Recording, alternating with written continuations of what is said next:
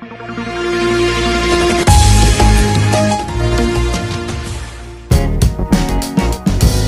देवरिया पहुँचे, देश अध्यक्ष, भाजपा व मंत्री स्वतंत्र देव सिंह। जल शक्ति मंत्री ने बंधे का किया निरीक्षण, साथ ही पुस्तक का भी किया विमोचन। नमस्कार, आप देख रहे हैं जनमंच खबर। सात जुलाई को देवरिया ज़िले के रुद्रपुर में बाढ़ बचाव कार्य के लिए हो रहे बंधे निर्माण कार्य का निरीक्षण करने पहुँचे जल शक्ति मंत्री स्वतंत्र देव सिंह। साथ में कृषि मंत्री सूर्य प्रताप शाही, विधायक जयप्रकाश निषाद जिला पंचायत अध्यक्ष गिरीश चंद्र त्रिपाठी, विधायक सलभ मणि त्रिपाठी, सुरेंद्र चौरसिया और क्षेत्रीय अध्यक्ष धर्मेंद्र सिंह भी उनके साथ रहे। साथ निरीक्षण करते करते हुए उन्होंने डॉक्टर श्यामा प्रसाद मुखर्जी के जन्म दिवस के अवसर पर देवरिया के टाउन हॉल में आयोजित एक सभा को संबोधित भी किया। उत्तर प्रदेश सरकार के मंत्री स्वतंत्र देव सिंह और धर्मेंद्र सिंह ने देवरिया ज़िले के नौतन ग्राम सभा में सीओ स्टाफ धर्मेंद्र शाही के पिता स्वर्गीय जगन्नाथ शाही के ब्रह्मभोज कार्यक्रम में भी सम्मिलित होकर अपनी श्रद्धा सुमन अर्पित किए। ग्राम सभा रामपुरगढ़ में जोरदार स्वागत भी किया गया, जिसमें doctor Jitendra Pratap Rao, Nautapi intermediate college के प्रबंधक डॉक्टर मनोहर गुप्ता, सुरेश गुप्ता मोहन लाल गुप्ता, स्वामीनाथ पटेल राम बहाल पटेल भुआल जायसवाल, दिवाकर राव, गणेश